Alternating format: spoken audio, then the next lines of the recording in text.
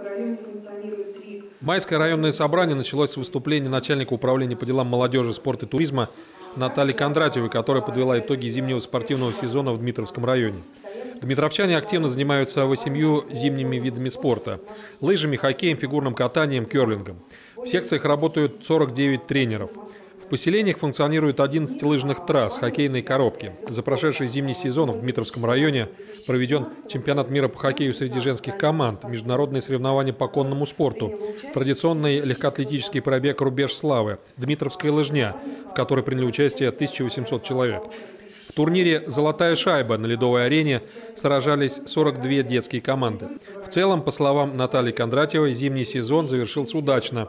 Все программы и задачи выполнены.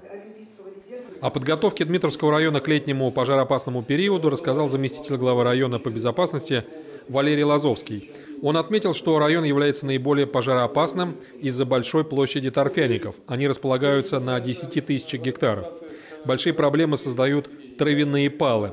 Только в апреле было зафиксировано 236 возгораний.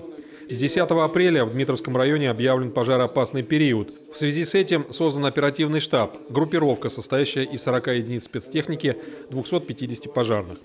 Валерий Лазовский объявил, что 17 мая на территории Орудьевского отдела будут проведены ежегодные тактико-специальные учения добровольных пожарных дружин поселений – в рамках подготовки к пожароопасному периоду проведена опашка 24 населенных пунктов СНТ, очищена от завалов 114 километров просек.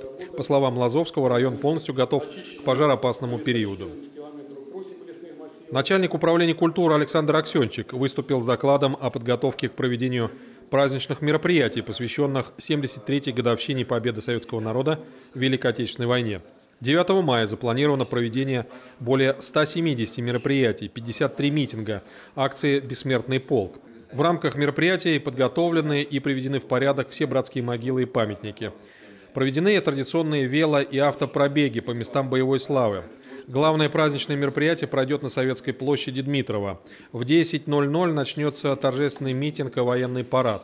Затем стартует памятная акция «Бессмертный полк» полдень на Перемиловских высотах в Яхраме состоится торжественный митинг. В течение всего дня на центральной площади Дмитрова будут выступать лучшие художественные коллективы. Состоится галла-концерт «Звездопад». Завершится праздник Победы праздничным салютом в 22.00 в центре города.